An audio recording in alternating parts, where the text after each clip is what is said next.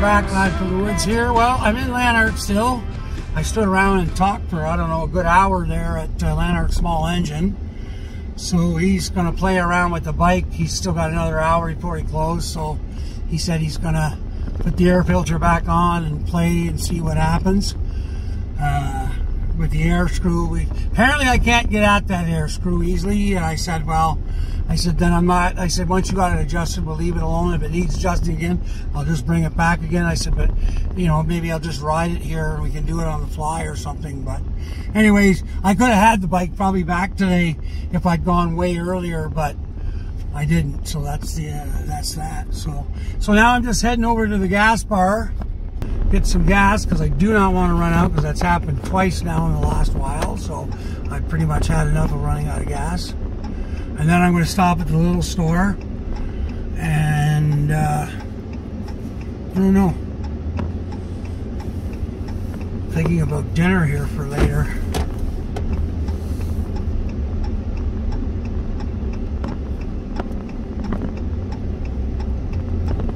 Because they've got fair at, at Little Pretty Goods here. Pretty Goods is kind of like an old school grocery store uh, it's bigger than a corner store, obviously, but it's not a full size. Imagine A&P back in the 70s, but a tad smaller. And that's what Pretty Goods is for us out here. So it saves a lot of trips going to the big store in uh, Perth. And you would think that the, uh, the, the prices are way more expensive there. You'd be wrong. Surprise, surprise. It's going to be funny if I run out of gas just as I pull in here. Oh, what's all this? Is this for sale or just junk? Garage sale. Two vacuums there. Almost like the ones I have. I should probably go buy one just for the cats. Oh, I guess I should have bought gas. Can you guys see that? Dollar sixty fucking three. Just in time for the weekend. I'll be back. Whoop.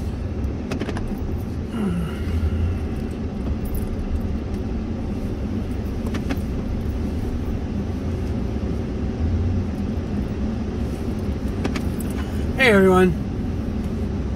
I just had to back up a little bit so I get a right hand turn, but lots of traffic. It's uh, quarter after, uh, time is it? Phone book. I don't know why it updates every single time. Nothing ever is updated in my phone book I'm aware of. Jeez, these computers. It's, it's 420. I should have stopped there and seen I don't have any cash. I don't, I don't even think I have my emergency 10, no I do not. So, in my emergency 20, did I use it or is it here? Or no, I think it's at home still. Anyway, put 50 in and it gave me a range of 232 kilometers.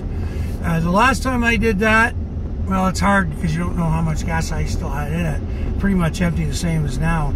But um, it gave me 247. Anyway. look at this. The guy ahead of me in that van might be a guy I want to fucking smack because he owes me money. Because he fucked me around on my plumbing. Yeah, that looks like the little prick right there. Let's hope he stops at Pretty Goods. Well, guys, I may have to turn this camera off. But I want my money.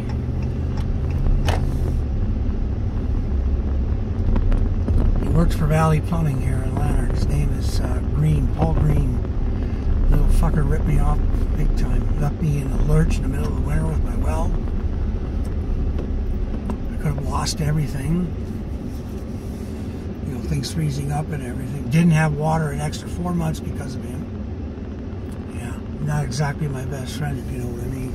Used to be a friend used to give him all kinds of free weed, like meaning just, you know, because uh, it's like, oh, hey, come on over. I know you smoke.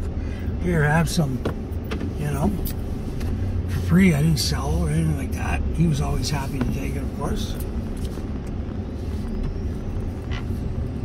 Anyway, fuck him. And he didn't stop here at the store.